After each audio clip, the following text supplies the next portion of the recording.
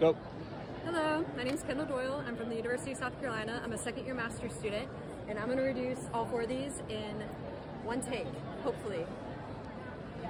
First, we're going to start with the finger, come underneath the forearm, pulling into stabilizing here, slight extension, pulling out, and bringing in. Next, we have the elbow. Uh, it'd be nice if I had some help to hold this down, but if I am by myself, hold it down here, come to the floor, pulling into slight extension and traction.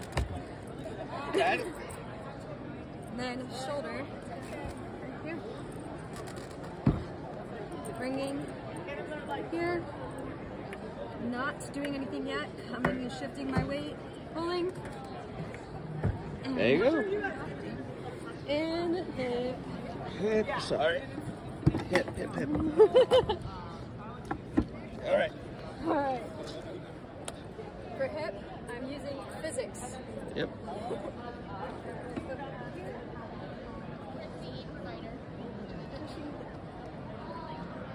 There you go. what do you think? Easy.